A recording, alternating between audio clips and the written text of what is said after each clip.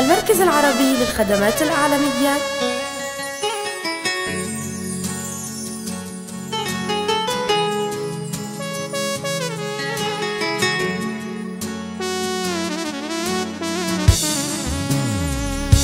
وانت بعيد حنيت لك. وانت بعيد تخطر عليك وانت بعيد.